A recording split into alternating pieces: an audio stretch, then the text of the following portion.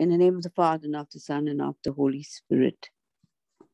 Lord, we thank you as we are learning today. So many truths you are unfolding to us, Lord. Many truths that are in the Bible. Lord, we did not know you, but so nicely. But now we know everything. You know everything about us, Lord. You know when we sit and when we stand, even the very hair on our heads is numbered you know, even the very hair on our head is wonderful. Yes, Lord. You have determined the exact time of our birth and where we would live. Lord, you are not distant and angry, but you are complete expression of love, Lord. We thank you. We thank you, Lord. You have been misrepresented by those who don't know you, Lord. In John 8, Lord, you are not distant and angry, but you are complete expression of love. Yeah, I'm saying it again. Yes, Lord. Thank you, Lord. You are my Father, and you love us even as you love your Son, Jesus. For in Jesus, your love for us is revealed. You have always been a Father and will always be a Father to us, Lord. We thank you, Jesus. We thank you for having given us Jesus. And, that you know, and we have received the right to become the children of God because we believe in his name. Lord, we thank you for this warrior, brother Vincent. Lord, we thank you for blessing him with all spiritual gifts. Spirit of wisdom is upon him, spirit of knowledge, spirit of understanding, uh, uh, the spirit of anointing. Spiritual gifts are flowing, Lord, like rivers of living water from his spirit mind to his soul mind to achieve success in every area of his life, Lord. And as you are getting him deeply rooted into your word, Lord, you are also revealing to us through him the truth from the Bible. Thank you for this, Jesus. Thank you, Holy Spirit. Thank you, Abba Father, unveiling us the truth about the Lord, not letting our imagination, um, um, you know, become vain. Lord, you are making this teaching very simple and easy now to understand, true brother, through all and to all the listeners, touching the hearts of all the souls around the world. Lord, we make this prayer, our Father, in the name of our Lord Jesus Christ. Amen. Amen. Amen. Amen. Amen. Thank you, Sister Joyce. Thank you my, uh, for, for that wonderful opening prayer. And my sisters and brothers, a warm welcome to each one of you. Today, we are going to continue on the same topic that we have been studying all these days, and that is on bearing fruit. You know, for the last almost a month now, we have been, you know, studying on how each one of us has been called by the Lord in order to bear fruit. But again, bearing fruit is not the ultimate thing that the Lord wants to do. The first and important thing that He wants to do in our life is He wants to have a relationship with us. And you know, my brothers and sisters, once the Lord gets our heart, once He has got, you know, our entire selves, then it is possible for us to be used by the Lord so that you know you and I can be his hands, can be his feet, can be his very heart, can be his mind to the world around us. And you know, my brothers and sisters, all these days, especially in the last two to three weeks, we have been studying about the hindrances that we must overcome in order to bear fruit. And for the last, you know, almost about four to five days, we have been studying from Romans chapter 12, verses 1 and 2, that the first step that we need to take is to make a total commitment of our life to the Lord by being a living sacrifice. That's what we saw in Romans chapter 12, verse 1. You know, unless we offer our lives, unless we offer our bodies as a living sacrifice, unless we make that commitment, there is no way that we are ever going to go to the next stage where we can actually renew our mind. You know, my brothers, says, what is the use of doing a lot of service for the Lord, using, doing a lot of service for mankind, if we are not going to make ourselves a living sacrifice. We are not going to surrender ourselves to the Lord. You know, once we surrender ourselves completely to the Lord, we, you know, make ourselves a living sacrifice. Now God can use you and me because for the Lord to use you and me, he needs our total commitment. You know, my brothers and sisters, you can't be like 50% with the Lord and 50%, you know, uh, with the world, and then expect the Lord to use you mightily in order to bring fruit into the kingdom. It's either the Lord 100% or it's going to be weak with the world and nothing in between. That's why, you know, if you read the book of Revelation, the Lord says, if I, it's good if you are either hot or it's good if you're either cold. But if you're lukewarm, he says, I'm going to simply spit you out of my mouth.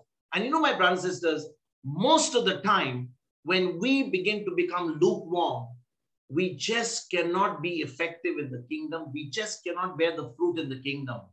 And you know, once we make that total commitment by offering our bodies, offering our very life as a living sacrifice to the Lord, we then go to the next stage of, you know, renewing our mind. You know, once we renew our mind with God's word, you know what is going to happen? We will be able to produce the fruit that will last because surrendering to the Lord and then allowing His word to take root within us and allowing this mind to be renewed with His word and then operating according to His word is simply going to allow the Lord to use you and me to bear the fruit that will last forever.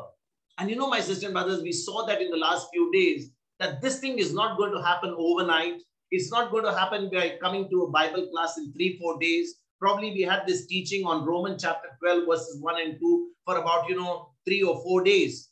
But in three or four days, it will be impossible for us to, you know, really become people whom the Lord can use because this whole process is going to be in steps and stages. And as you know, my brothers and sisters, make this journey in our life, then the Lord will be able to show us His very will.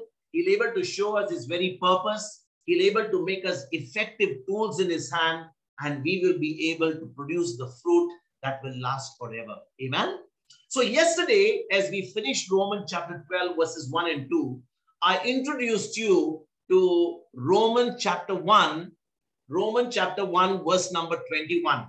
And that's what we are going to study today, my brothers and sisters. So without any further delay, I before we begin with Romans chapter 12, uh, chapter uh, 1, verse number 21, you know, my brothers and sisters, I want to just give you a little bit of an introduction.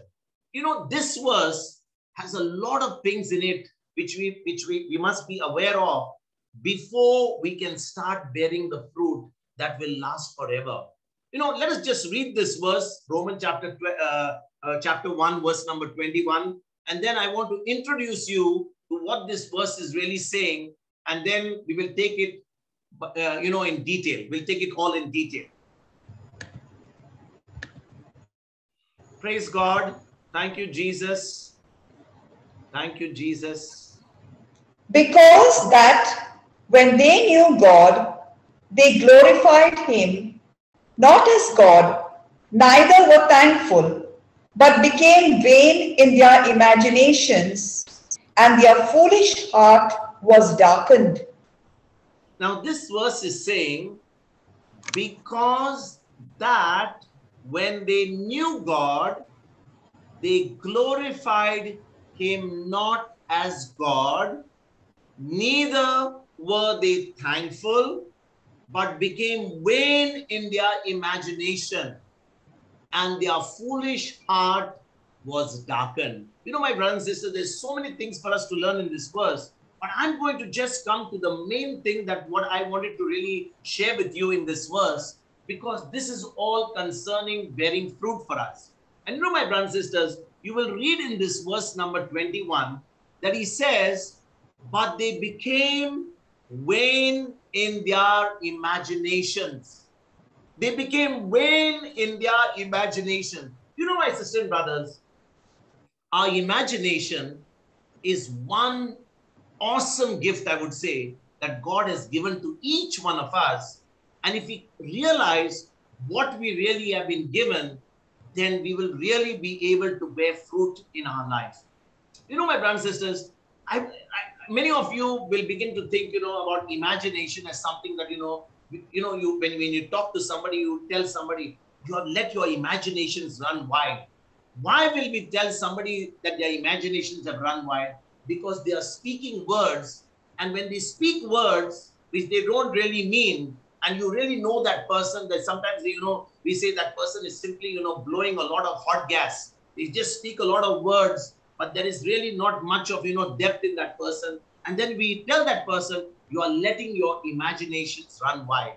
So, brothers and sisters, what is St. Paul saying when he makes this statement by saying, because, uh, but because, became vain in their imagination? What is he saying? You know, my brothers and sisters, before we really go to, you know, anything we can study in this verse, you know, I want to just show you that without our imagination, we will never be able to function in this life. You know, without an imagination, you and I will never be able to function in our life. Let me let me just give you a, a little bit of an introduction to this word imagination so that now as you begin to understand this word imagination, you will now begin to appreciate what this verse number 21 is talking all about. Now, for example, my brothers and sisters, if I tell each one of you, can you tell me what are the, how many are the number of doors and windows in your house? If I just tell you, can you just tell me right now, you know, just one number. I want to know how many doors, how many windows are there in your house. And you know, my brothers and sisters, none of you will able to tell me exactly the figure. But if I tell you, you know, take your time, sit in that place and tell me. And now you will begin to close your eyes and you'll say, okay, I've got my kitchen, I've got my bedroom, I've got my living room, I've got the entrance, I've got the porch. And then you'll begin to start counting in your mind the number of windows, the number of doors that you have in the house. And finally, you'll add them up, all up together without physically going to the place. And you will be able to come and tell me that these are the number of doors and these are the number of windows. I mean, nobody in our house, even today, if you ask me, I've never counted the number of doors and windows. But you know, if, if somebody asks me, I can immediately go ahead and say to them, yes, in our, in our bedroom, there is one door, there is one window, there is a particular living room where there are two windows, and I can add them all up together and I can finally come to a figure. Okay, let me give you another example. You know, say for example, you know, you are living in a particular city. Say for example, my sister uh, Joyce is living in, the, in, in Perth, in that particular town where she lives. And I tell her, Sister Joyce, I would like you to take me from your house onto a particular market which is close by. Now, since she's familiar with the place, even if I tell her, you know, you don't take me, but you just give me the direction. And she'll say to me, you say, you go out of the street, take a right, then go down the road straight, take a left, again take a right, and then finally on the left-hand side, you'll find the market she can say this to me even without coming with me because in her mind she already knows the direction she already can uh, you know point out how exactly from a house she can get to the market and you know my brothers and sisters in the same way you and i have been given this beautiful gift of imagination by the lord you know many a times there are so many events that took place in our past there are so many things that we want to happen in our near future. And you know, unless we are able to think it in our mind first, according to God's word, we will never be able to see that particular situation come to pass. Which means, if we are not thinking according to the word, we are not making our imagination according to the word. We are simply opening our mouth and rattling a lot of prayers and rattling a lot of scriptures. You know, my sisters and brothers, we will never ever be able to see God's word come to pass in our life. And why is that? Let me give you another example. Say, for example, you open the television in the evening. Say, you know, after this class, it, it's probably, you know, say, say six o'clock or seven o'clock, and you switch on your television and you see the announcer on the on the news he's they say you know they're, they're announcing the news but in in in the in the in the in the in the audio although you see the person reading the news in the audio you are hearing the commentary of a cricket match or a football match now although on that screen you're watching the announcer say to you the evening news or whatever news they're going to give but if the audio is simply different is there a mismatch 100% there is a mismatch. And many times on television, it does happen because of jamming of signals that what you see on the, on the video and what you hear on the audio do not match. It doesn't happen too often, but it does happen wherein the audio and the video do not match. In the same way, my brothers and sisters, when we are thinking in our mind, when we are thinking in our imagination, something which is contrary to what we are speaking with our mouth, there is definitely going to be a mismatch. And as a result, what we are praying for will never ever come to pass. Remember, my brothers and sisters, in order for our imagination not to be vain, it is important for us to imagine in our mind, in our video, and the words that we are speaking to be in perfect harmony. You know, my brothers and sisters, you know, there are many times as I was introducing you yesterday to, you know, uh, Roman chapter 1, verse 21. I even talked to you about, you know, 1 Peter 2, uh, 1 Peter chapter 2, verse 24. And you know, we all know that scripture which says, by the stripes and by the wounds of Jesus, we have been healed.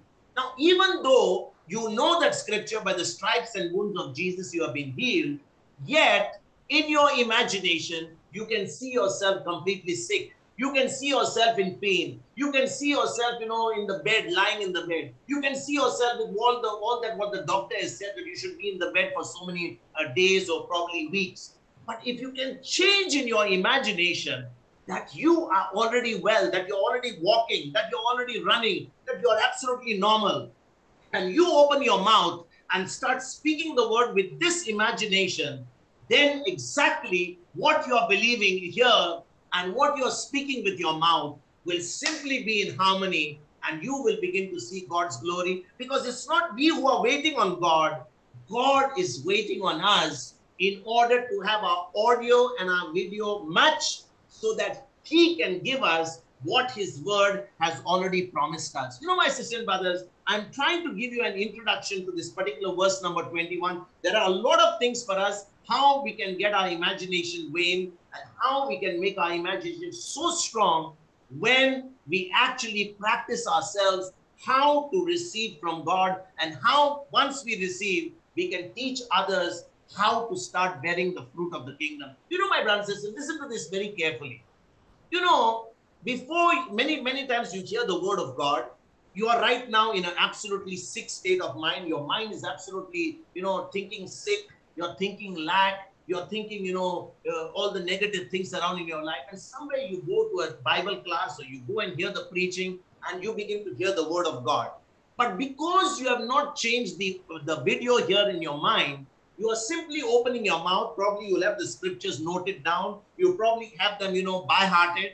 And you keep on opening your mouth and rattling them over and over again. But you are not thinking, you're not imagining yourself according to what that word says. And therefore, it is very important to just come in the presence of God. It is that scripture very, very clearly says in, in Psalm 46.10. Can we go in Psalm 46.10? You know, in Psalm 46.10, the Lord very tells us, be still, he says, and know that I am God. Be still and know that I'm God. Let's read that. Let's read that. Be still and know that I am God. I will be exalted among the heathen. I will be exalted in the earth. So, what is the Lord saying in Psalm 46 10? He's saying, Be still, be still. Just be still means literally be still. Don't move your hands, don't move your feet, don't have, you know, don't do multitasking, don't have, you know, something in the oven, don't try to be talking to somebody in your in your family just be still in the presence of the Lord and just take in His word. And as you take in His word, allow that word to soak into your spirit, allow that word to soak into your heart, allow that word to speak back to you. Start making an imagination in your mind, start seeing what that word is, is saying to you.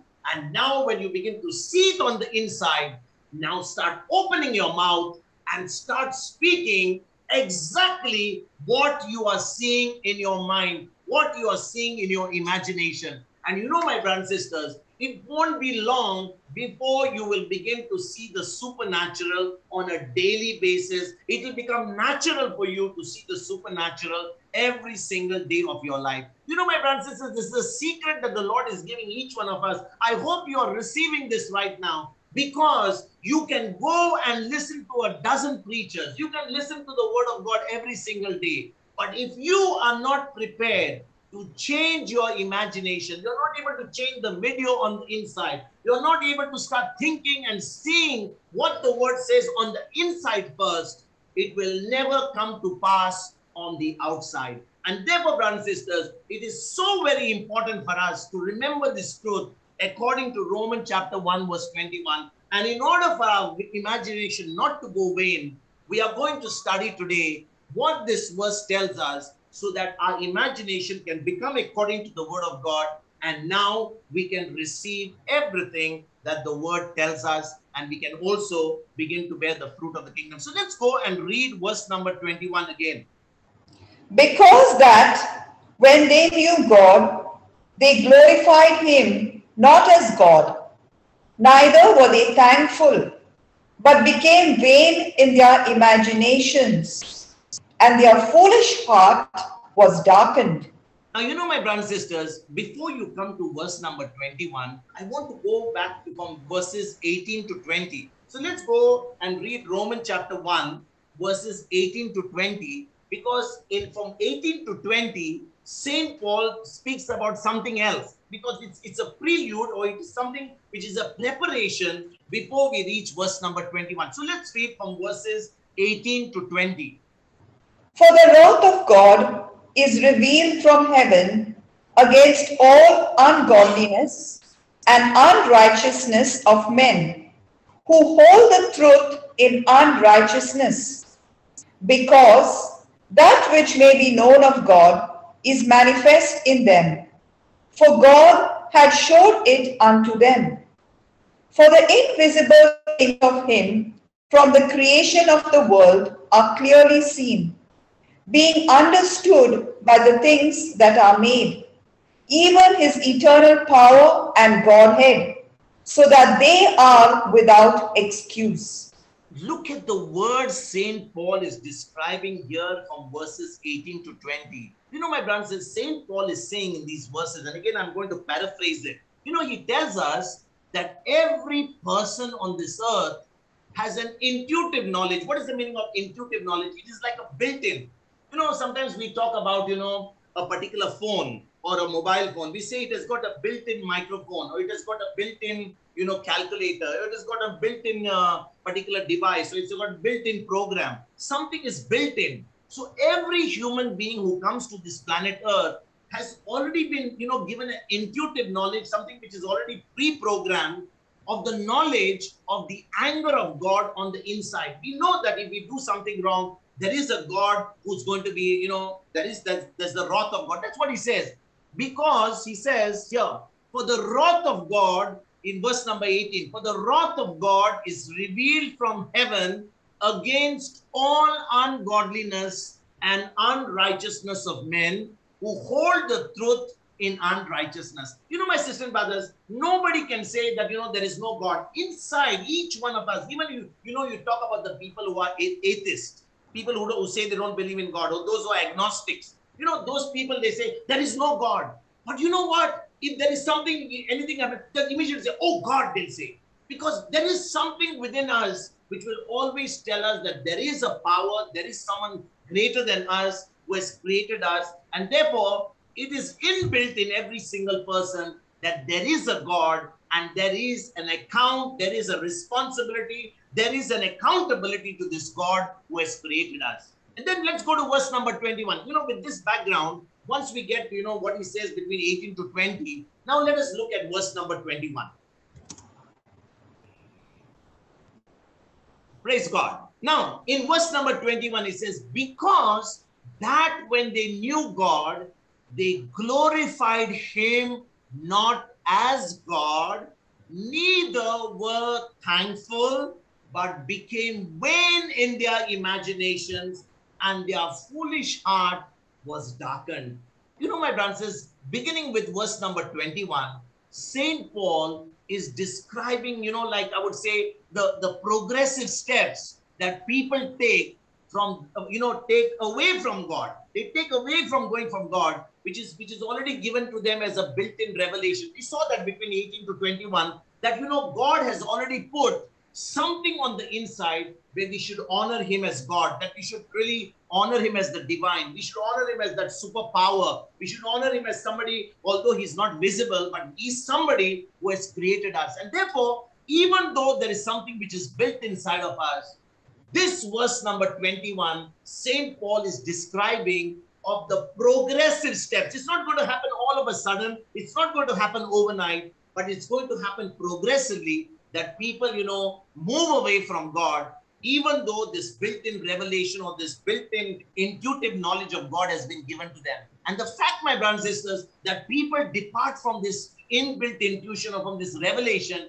does not, you know, nullify or I would say make void the fact that God has placed this particular, uh, you know, design inside of us, that, you know, He has given us this intuitive knowledge that He is really God, that we should honor Him. And, you know, my brothers and sisters, the steps described in this verse, here in this verse number 21, uh, you know, here in walking away from that revelation, apply to anything the Lord has shown us or spoken to us. You know, sisters and brothers, unless the Lord speaks to us through His Word, we will never know that we are either moving away from Him or we are getting closer to Him. Yes, He has already given us that intuitive knowledge, He has already given us that revelation, He has already created us because there is an inbuilt, you know, information on the inside of us, even though we may not be believers in every single person that there is a supernatural power, there is a God that we need to honor, that we need to always look up to. But this verse number 21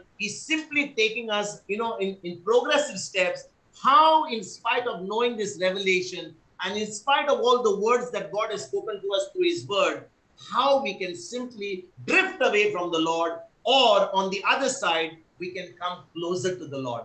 And you know, my brothers and sisters, let's go back to this verse again and see what are the uh, what are the steps. There are actually, if you see, there are three steps. So let's go step by step and see how we can move away from the Lord or how we can actually come closer to the Lord and how when we move away, we, we, we become vain in our imagination and our foolish hearts get darkened. So the first step is that people take away from any revelation that God has given them is that they fail to glorify him as God.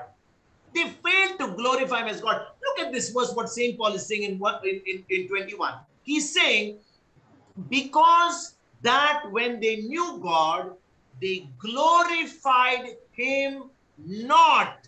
They glorified him not. That means they did not glorify him as God. And no, my sisters and brothers, this word glorified simply means you know to to to render uh, you know to render glorious or to or to or to esteem somebody to esteem you know you basically respect somebody you honor somebody you put a value onto somebody and this word esteem actually means you know to place a high value on it's it, it means to put a prize on to to give respect to judge or you know probably you would say you know, people will actually magnify or esteem or place a great value on something when they do that other than God.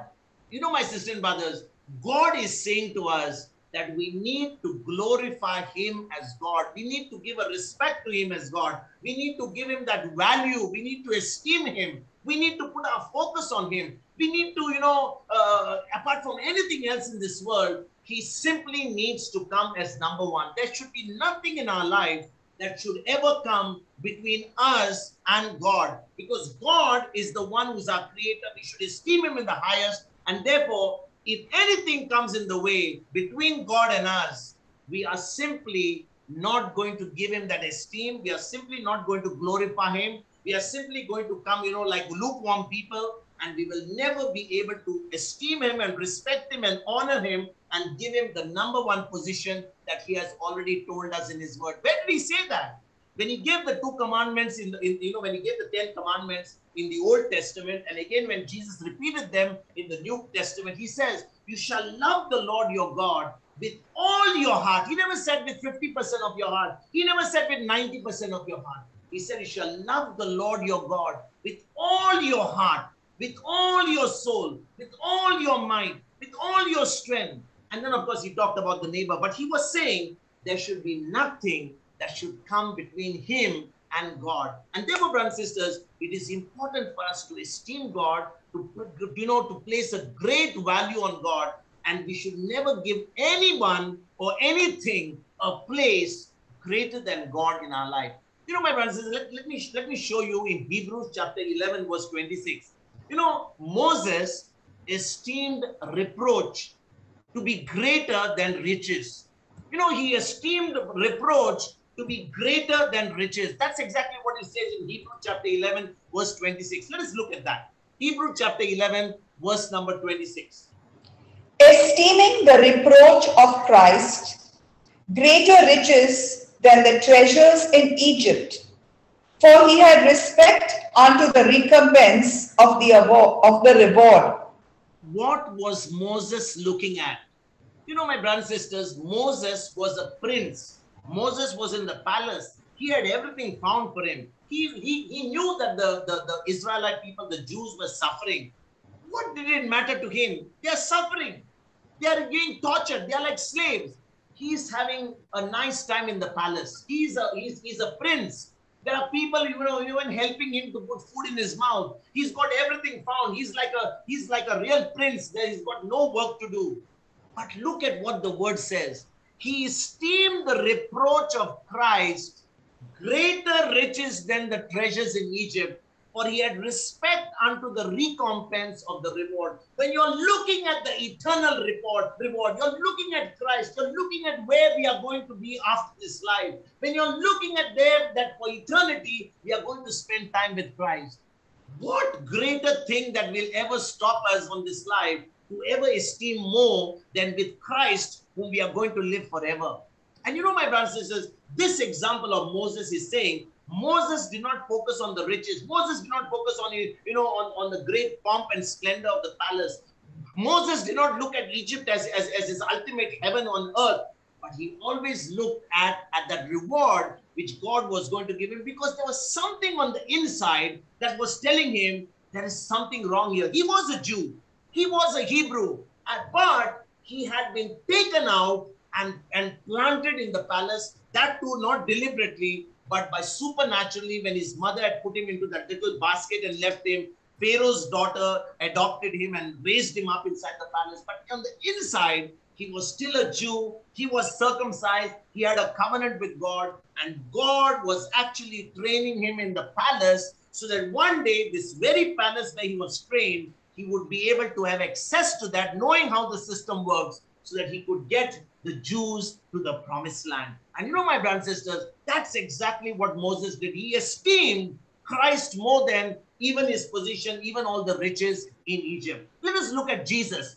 Jesus de-esteemed the suffering of the cross. So he, he, he never looked at the suffering of the cross as something, you know, which is going to be so much of pain, so much of hardship, but he focused instead on you and me who would be freed through this suffering. Let's go to Hebrew chapter 12, verse number 2 you know, brothers and sisters, when you look at Hebrew chapter 12, verse number 2, Jesus could have said, I'm the Lord of Lords, I'm the King of Kings, I'm the Creator. Why should I go for, to suffer on the cross? Why should I go through all this pain? Why should I go through all this suffering? For what reason? I don't need to. I'm the Creator. But look at what he, what the verse, uh, Roman, uh, Hebrew chapter 12, verse number 2 says. Looking unto Jesus, the author and finisher of our faith, who for the joy that was set before him endured the cross, despising the shame, and is sat down at the right hand of the throne of God. So look at this, my brothers and sisters. What is the Hebrew writer saying? He's saying, looking unto Jesus, the author and finisher of our faith, who for the joy that was set before him endured the cross, despising the shame, and is set down at the right hand of the Father. Why did he go to the cross with joy? The word of God tells us in Hebrew chapter 2, 12, verse number 2, that Jesus endured the cross with joy. You know, my brothers and sisters, you know what is joy? Joy is simply knowing that the end result is always going to be victory. I know right now, as you're hearing right now this word, there are people who will hear it later on the internet, on YouTube. You must be going through some situation in your life. Maybe you're going through a marriage crisis. Maybe you're going through a financial problem. Maybe you're going through, you know, uh, uh, a situation in your relationship. Maybe you're going through a job problem. I don't know. You may be going through, you know, a health problem in your life. Some of you may be going through some particular situation here. Maybe you're going through an issue with your children. Maybe there is an issue in your family. I don't know what the real issue is. But do you know, my sisters and brothers, whatever be your issue right now, whatever be your problem right now, if you are going to focus on the problem instead of keeping your focus on Jesus, keeping your focus on His Word, knowing that you're not going to let your joy be affected, because when you know you're with the Word, you can make that imagination of yours according to the Word because God is always faithful to his word. So although you're going through a negative situation in your life right now, you know and you know when you are with the word of God, it's a matter of time that you're going to see your situation change because God is always faithful. And therefore, you can be in joy, you can be at rest in your mind, you can be in total peace, even though you're going through that crisis, because you know and you know that the end result is always going to be victory. I know, my brothers and sisters, some of you who are listening right now, I hope you're getting answers to your problem because many a times we come to the Lord and we say, Lord, when will my situation change? When will things get better in my life?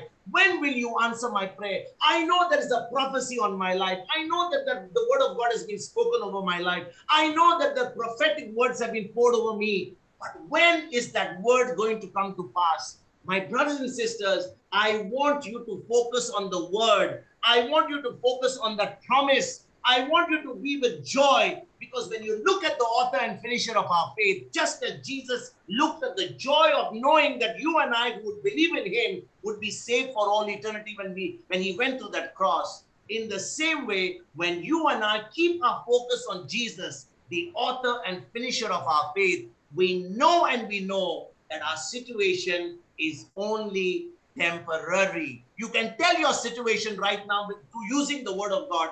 Tell your situation, talk to your problem and say, you are temporary. You are not going to be eternal because the word of God is eternal. And therefore, brothers and sisters, when you begin to magnify God's word and not magnify your problem, you know, many a times when we are talking in our communication, you know, it's just become a habit to us. We'll ask somebody, how are you? And that person will rattle all their problem. You know, I, the doctor said this, and this one said this, and the lawyer said this. And you will tell all the stories about who said what.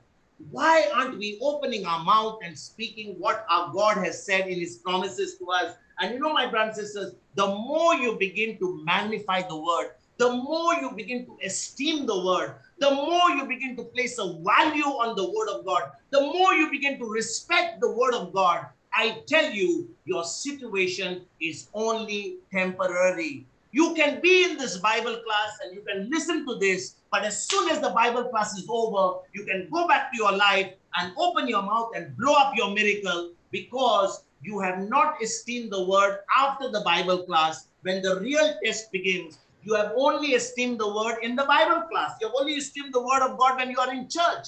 But the moment you came out, you simply drifted away and you aborted your miracle. My brothers and sisters, remember putting a value on God, putting a value on or esteeming His word is not only like having a breakfast, lunch, and a dinner. It's not an activity, it is a lifestyle. And therefore, when I begin to put a value on God's word, when I begin to value his word 24 7, I continually begin to renew our mind. Remember what we learned yesterday in Romans chapter 12, verses 1 and 2, because we are going to move to the next stage about, you know, uh, having that imagination. Now, as we begin to esteem the word, as we begin to magnify the word, now we begin to see God's glory in our life. You know, my brothers and sisters, if you go to the psalmist, I believe it is in Psalm 69, verse number 30. Can we go there, please? Psalm 69, verse number 30. Psalm 69, verse number 30. Praise God. Thank you, Jesus. I will praise the name of God with a song and will magnify him with thanksgiving. I will praise the name of the Lord with a song and will magnify him with thanksgiving. You know, my sisters and brothers, what are we doing when we open our mouths and sing a song? If you're going to praise God, you know, many times you hear these people saying, when you when you sing, you're praising double. I really still haven't understood that why people say when you sing, you're praising God double. Because when you open your mouth, you can only praise the Lord as much as you are going to thank Him. But even if we, if we do believe that when you sing, you're praising Him double, then the word of God tells us that when we open our mouth and come praising the Lord, we are simply to praise Him with thanksgiving. Psalm 69, verse number 30 says, We magnify God. One, you know, you know, that's exactly with thanksgiving. We magnify Him with thanksgiving. You know, my friends, let us let us go to Luke's gospel. I'm, I'm reminded of Luke's gospel, Luke chapter 17, I believe. That was the story where Jesus healed the lepers. You know, there was there were I think ten lepers there, and Luke chapter 17 verses 16 to 18. Let's read that. You know, Jesus healed ten lepers. Ten lepers got healed, but only one who was a Samaritan came back to thank him. Let's read that. Just let listen to what it says about thanksgiving. And fell down on his face at his feet, giving him thanks. And he was a Samaritan. And Jesus answered saying, Were there not ten cleansed? But where are the nine? There are not found that return to give glory to God, save this stranger. You know, my sister and brothers, even the people of Israel, even the people who were Jews, who had a covenant with God, they thought that God owed it to them. God actually owed the people of Israel. That's the attitude they had.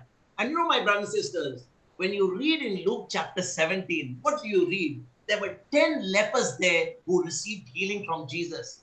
Nine of them were Jews, and only one was a Samaritan.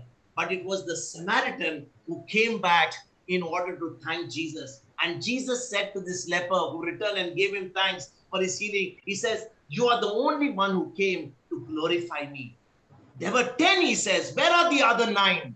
Why did the others not come back to thank me? And you know, my sisters and brothers, out of the 10 lepers, only one man turned up. I want to ask you and I mean each one of us this question. You know, God has is, is done so much in our life.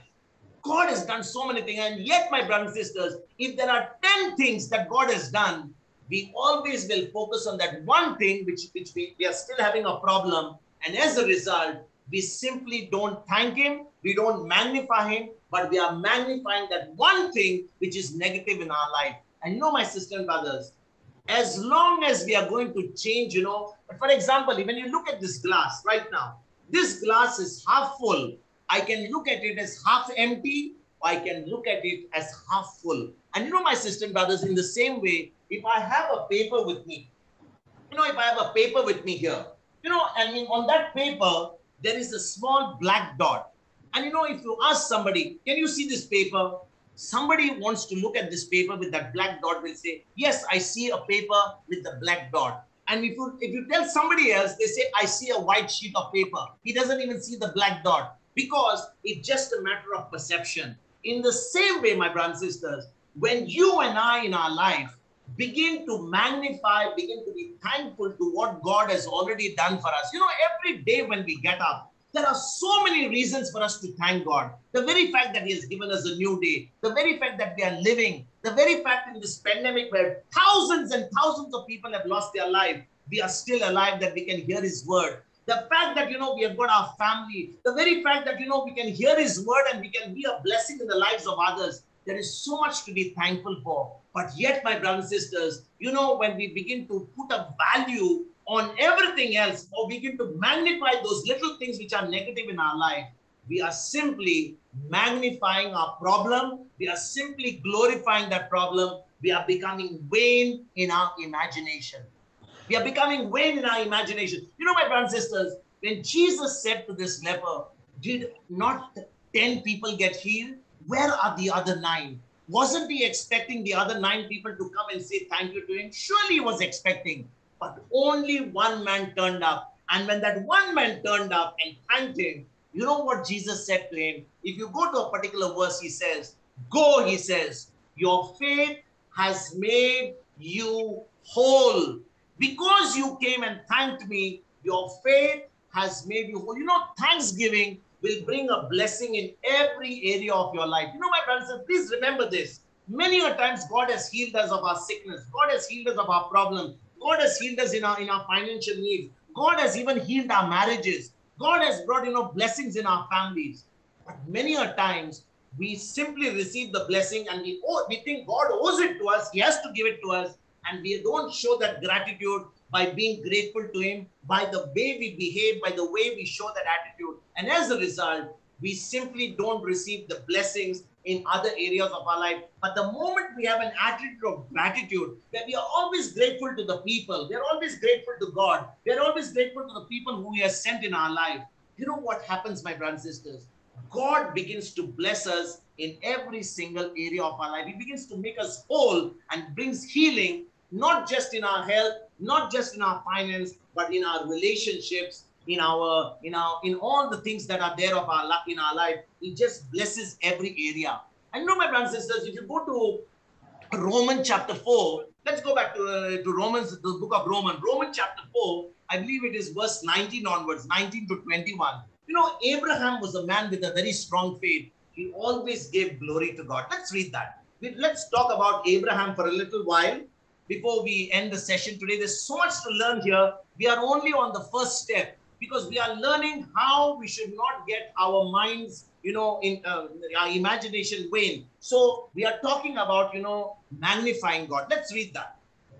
And being not weak in faith, he considered not his own body now dead when he was about a hundred years old neither yet the deadness of Sarah's womb. When you read verse number 19, my brothers and sisters, and you look at what the situation of Abraham and Sarah is, in the natural, there is no way that Abraham can become a father. Maybe, yes, Abraham the man can become, but, but Sarah, who's already 89, it says the deadness of Sarah's womb. Sarah's womb was dead. She had already passed her stage. She probably had come to menopause. She had probably passed the age of childbearing. And now, how could Abraham ever believe that his wife Sarah would bear him a son? You know, my brothers and sisters, in the natural, when you look through your physical eyes, there are so many things which will say, because the world will tell us it looks absolutely impossible. But Abraham was strong in faith, giving glory to God. Abraham was strong in faith, giving glory to God. You know, my sisters and brothers, Abraham esteemed God's promise more than he valued anything else. You know, the moment you put a value on, on, on your situation, you put a value on what the doctor has said, you put a value on what the lawyer has said, you put a value on what the minister has said. You put a you put a value on what the prime minister has said. You put a value on what the what what he said and she said. You know what is going to happen? You will never be able to give esteem to God's word. You know, sister and brothers, I'll tell you I'll tell you honestly about my own self. This is I'm talking only for myself.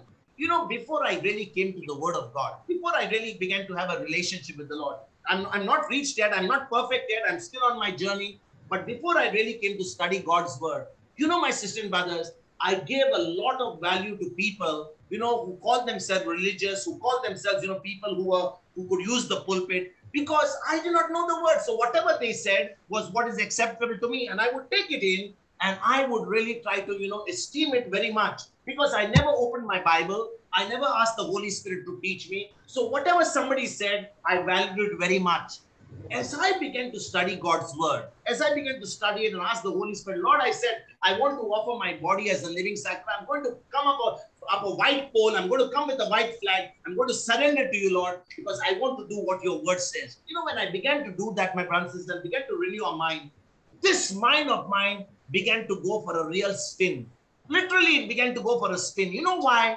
because there were so many things that I had esteemed before the word before the word of God. I had esteemed people who had spoken the, you know, had explained the word. But when I began to come to the word and I began to understand what the Holy Spirit was saying, there was so much of confusion in my mind that literally I had to unlearn, I had to, I had to disrespect, dishonor so many things which I had learned before to in order honor and esteem God's written word.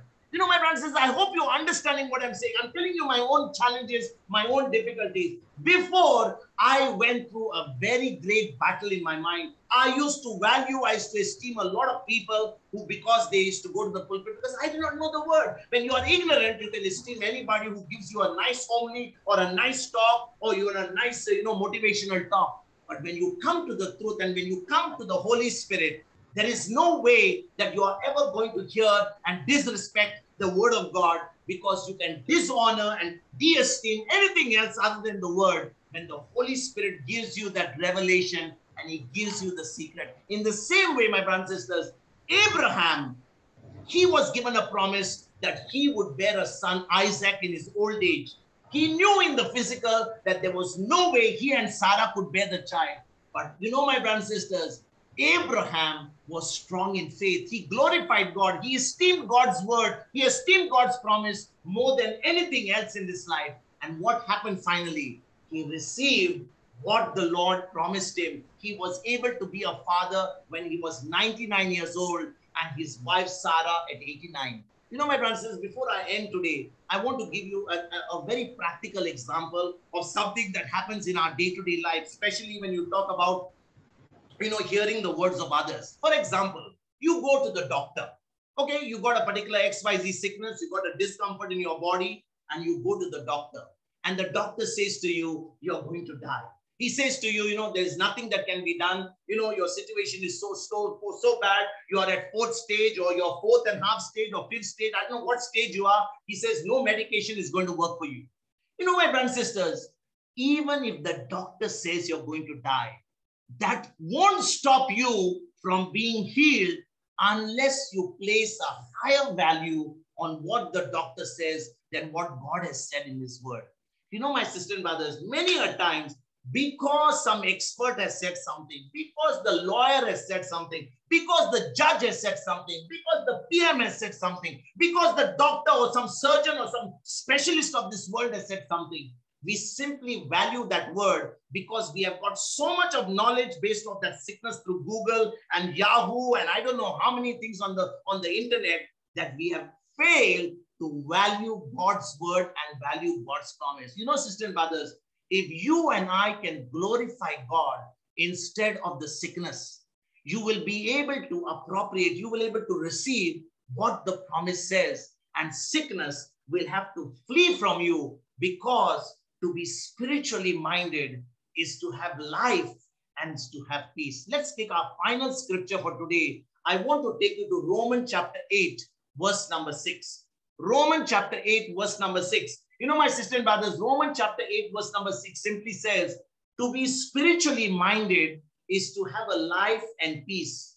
Whereas to be, you know, to be to be to be to be bothered about to be in the flesh is simply not going to help us. Let's read that what it says, Romans chapter 8, verse number 6.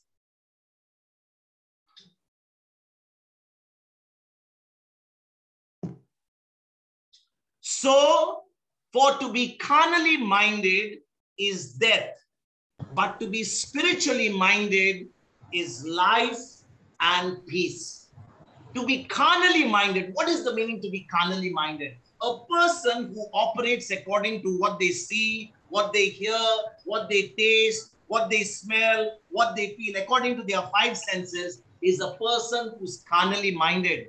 But a person whose focus is on the word of God, whose focus is on the sixth sense, which says what the word says, because the word is simply un, is not you know you cannot see it with your eyes. You have to see through your through your mind. You have to see through your imagination. You have to begin to see the healing. You have to begin to see the word to what the word is saying by making an imagination in your mind. And so, brothers and sisters, when you are going to think according to the word, when you're going to think spiritually, when you're going to be spiritually minded, the first thing that you're going to experience is you're going to experience life, you're going to experience peace. But the moment you're going to think according to your senses, what you feel, what he said, what she said, what the doctor said, what the lawyer said, what my in laws said, what my parents said, simply, my brothers and sisters, we are simply going to end up into death. That's exactly what it says. To be carnally minded is death, but to be spiritually minded is life and peace. And you know, my brothers and sisters, we should begin to magnify the Lord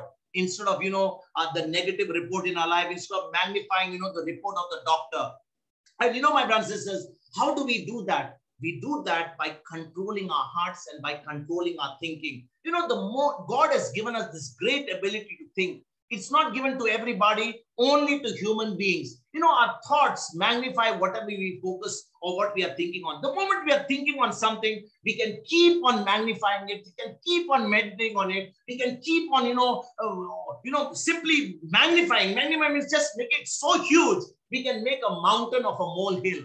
But brothers and sisters, once we begin to think according to the word of God, we can simply let our problem look so small with respect to our big God that we will begin to see the glory in our life. You know, if we see, you know, probably, you know, in our, in our life, there's a ma marriage problem, a marital problem. What should we do? You know, we should go to God's word and magnify what God has said instead of what we are seeing in our life. Many times, people, what they do, they simply begin to magnify their problem. They will tell others, you know what? My spouse is like this. My wife is like this. My husband is like this. My children are like that. Instead of me telling other people what the real problem is, take the word of God, magnify it, start taking the juice out of it, start, you know, meditating on it, start ruminating on it.